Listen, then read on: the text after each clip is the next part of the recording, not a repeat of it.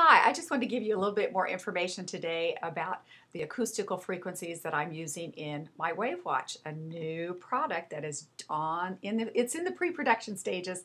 We're waiting for just a few parts, but I hope to release it on Indiegogo so that you can order it just about any time. But it's WAVwatch, W-A-V, Waves and Vibrations, so that you can look this up and learn about it. WAVwatch.com.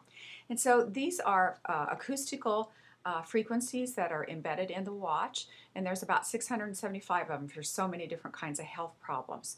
And what I wanted to say, because somebody emailed me and said, Linda, is this approved by the American Medical Association? And I had to think about that quite a bit. No, it is not approved by the AMA, and I don't know if they would ever actually get involved because these are acoustical frequencies. So they are not regulating frequencies in any way, shape, or form.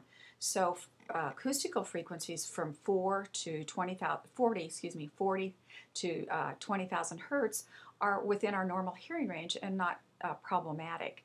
Uh, but the AMA does like sound frequencies for many, many uses. So we have our ultrasound, we have our MRIs that use ultrasound frequencies, and we actually have lithotripsy. And I did kind of want to mention that one and maybe pick on it just a little bit because lithotripsy that we use for kidney stones and breaking them up is actually ultrasound. And they actually turn on that ultrasound system and uh, focus it right on a kidney stone and uh, break those kidney stones up. But sometimes that's a long process. Sometimes it's hard on people. Sometimes it doesn't work. Sometimes there's a huge bruising in that area. Uh, but on the other hand, the Scientific American does quote and say that lithotripsy, that they do not know what frequencies to use. So they just blast you with every frequency there is. So that's why it's a little hard on you.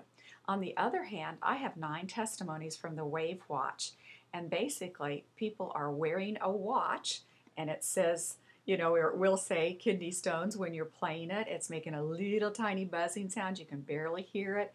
And they're not having any pain or pressure, and it, the watch itself costs around $200 versus the cost of other things and problems with kidney stones.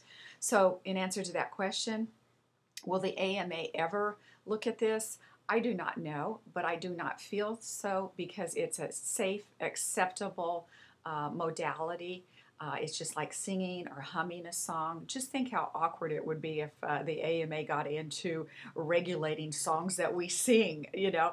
So, uh, very interesting that we are saving, using and uh, saving uh, different types of healthcare problems by using acoustical frequencies, and there's ancient technology behind it.